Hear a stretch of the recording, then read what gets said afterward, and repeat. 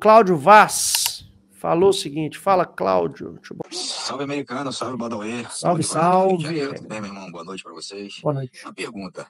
A chegada da Royal Enfield no Brasil fez esse mercado de moto é, ter essa diversificação que está tendo agora? Várias motos entrando aí no player é, de vendas. Será que foi por causa disso ou já existia um plano de, de outras marcas lançarem moto no Brasil? Porque sempre quem mandou foi Honda e Yamaha, né?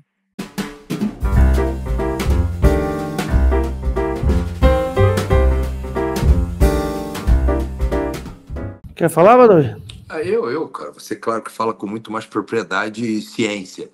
Eu acho que sim, eu acho que a, a Royal Field, quando ela veio para o Brasil, apostando no mercado, ela veio e provou que, porra, que é viável.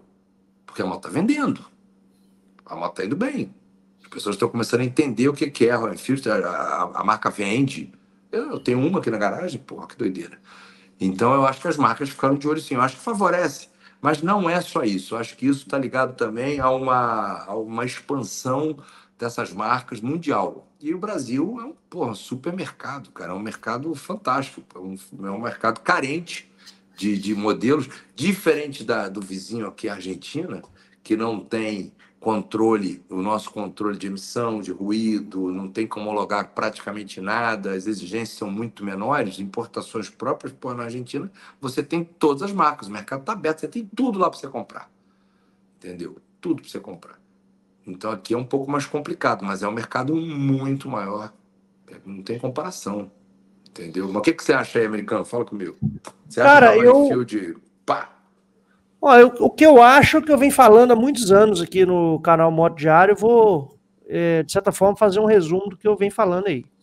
É, quando nós não tínhamos motos custom mais na casa das baixas, baixas e médias cilindradas, né?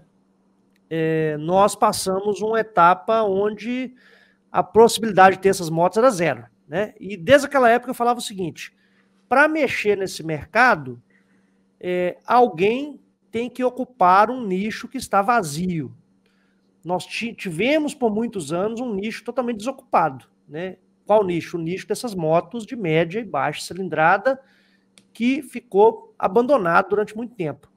E eu falava o seguinte: a única forma de nós é, mudarmos alguma coisa será no dia em que alguém colocar motos nesse nicho vazio e, de alguma forma, é, houver uma movimentação no mercado que demonstre que é um nicho que tem potencial.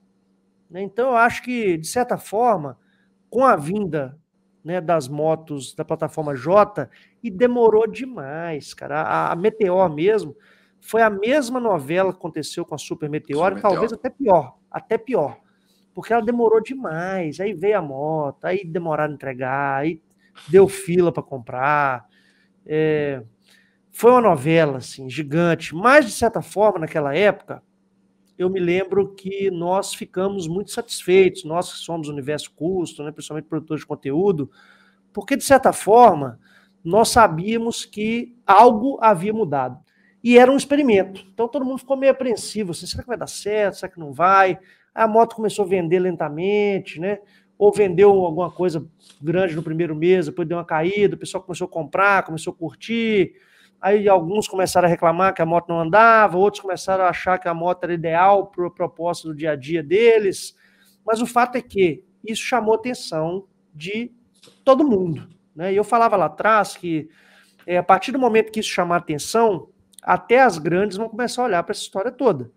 E eu falava também o seguinte: é até bom que as muito grandes, né, como por exemplo as duas que mandam hoje no Motociclismo Brasil, que é Honda e Yamaha, não tragam nada agora, porque se a Honda naquela época trouxesse uma Rebel 300, por exemplo, a num preço legal, tinha matava. batido as, os pregos no caixão da Royal. Da Royal, matava, matava, com certeza. É.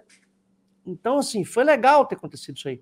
Então, assim, respondendo a sua pergunta, é, de certa forma, a Royal ela é a grande responsável por essa movimentação toda. Não é à toa que a Schneider está trazendo três motos. Né? Não é à toa que a gente está vendo movimentações aí de todos os níveis, né? inclusive com é, marcas como a Triumph, por exemplo, colocando moto de 400 cilindradas no mercado, né, coisa que nunca pensamos antes. Né? Óbvio, em parceria com a Bajaj, que também é uma marca que está aqui no Brasil.